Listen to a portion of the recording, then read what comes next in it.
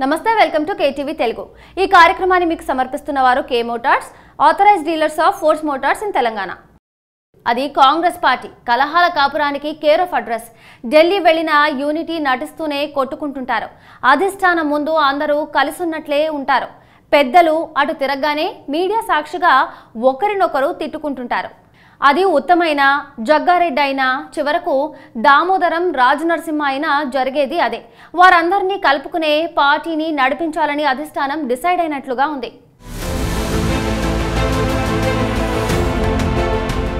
కాంగ్రెస్ పార్టీని ఎవరూ మార్చలేరంటారు. సోనియా రాహుల్ ముందు తెగ యాక్టింగ్ చేసే టీ కాంగ్రెస్ నేతలు విడిగా మాత్రం ఒకరిపై ఒకరు తేల్చుకుందాం రా అనే రేంజ్లో విరుచుకుపడుతున్నారు.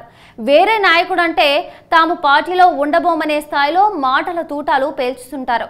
గెలిచే పార్టీని ఓడిపోయే స్థాయికి దిగజార్చడంలో వారికి వారే సాటి అని చెప్పుకోక తప్పదు. కాంగ్రెస్కు అందులోనూ తెలంగాణ కాంగ్రెస్కు అనాదిగా వస్తున్న కల్చర్ అది. ఇంతవరకు కొందరే మాట్లాడేవారు ఇప్పుడు అందరూ మాట్లాడుతున్నారు. జెంటిల్మెన్గా పేరు పొందిన ఉత్తమ్ కుమార్ రెడ్డి కూడా ఇటీవలి కాలంలో నోరు పారేసుకుంటున్నారు.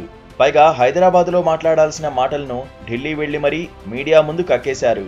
పీసీసీ మాజీ అధ్యక్షుడు కాంగ్రెస్ ఎంపీ అయిన ఆయన హోదాకు తగ్గట్లుగా మాట్లాడడం లేదన్న ఆరోపణలు కూడా వినిపిస్తున్నాయి.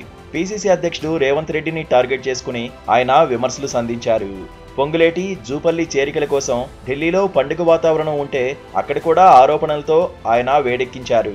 రేవంత్ ఆదేశాలతో ఓ నాయకుడు డబ్బులు ఖర్చు పెట్టి తనపై సోషల్ మీడియాలో అసత్య ప్రచారం చేస్తున్నారని అందుకే ఆయనకు పార్టీ ప్రధాన కార్యదర్శి పదవి ఇచ్చారని ఉత్తమ్ చెప్పుకొచ్చారు. కోమటిరెడ్డి వెంకటరెడ్డిని దారికి తెచ్చే లోపు మరో ఇద్దరు ముగ్గురు దారి తప్పారని ఏఐసిసి పెద్దలు తలలు పట్టుకుంటున్నారు. పార్టీలో కోవటులు ఉన్నారని వారి పద్ధతి మార్చుకోవాలని సీతక్క పెద్ద స్కడ్ మిసైల్ పేల్చడంతో ఇప్పుడు కాంగ్రెస్లో బీఆర్ఎస్కు కొమ్ము కాస్తున్న వారు ఎవరు అన్న చర్చ మొదలైంది. కాంగ్రెస్లో ఐక్యత కావాలని సీతక్క ప్రచారం చేస్తున్నప్పటికీ ఆమె స్టేట్మెంట్ మాత్రం అనైక్యతకు నిదర్శనగా నిలుస్తోంది. సంగారెడ్డి ఎమ్మెల్యే జగ్గారెడ్డి కూడా అసత్య ప్రచారాలు జరుగుతున్నాయనే మాట నిజమేనని అంటున్నారు. ఇంత బతుకు బతికి ఇలాంటి పరిస్థితి చూస్తానని అనుకోలేదని కూడా జగ్గారెడ్డి అన్నారు. నాలుగేళ్ళుగా తనపై ప్రచారం జరిగిందని ఇప్పుడు ఉత్తంపై అదే దుష్ప్రచారం చేస్తున్నారని జగ్గారెడ్డి వాపోయారు. పార్టీ కోసం ఎంత చేసినా ప్రశ్నిస్తూనే ఉన్నారని ఎదురుదాడికి దిగారు. కాంగ్రెస్ పార్టీలో పవర్ సెంటర్స్ వల్లే ఇలాంటి సమస్యలు వస్తుంటాయి. పీసీసీ అధ్యక్షుడిగా ఎవరున్నా ఇంకో రెండు మూడు గ్రూపులు క్రియాశీలకంగా కదులుతుంటాయి. పీసీసీ అధ్యక్షుడి నుంచి పెత్తనాన్ని లాక్కోవాలని చూస్తుంటాయి. ఒక వ్యక్తి పీసీసీ అధ్యక్షుడిగా ఉంటే అతనే ఎందుకు పెత్తనం చేయాలి? మేమెందుకు చేయకూడదన్న ఆలోచన వారిలో ఉంటుంది. పైగా ఉత్తమ్ కుమార్ రెడ్డి కొన్ని రోజుల క్రితం వరకు పీసీసీ అధ్యక్షుడిగా ఉన్నారు. ఎన్నికలు దగ్గర పడి తెలంగాణలో అధికారం చేతికి వస్తుందని విశ్వసిస్తున్న వేళ పదవి పోయిందన్న టెన్షన్ రేవంత్ ఏదో బావుకుంటున్నారన్న ఆందోళనతో ఆయనలో కనిపిస్తోంది. అధికారంలోకి వస్తే రేవంత్ సీఎం అవుతారు కదా?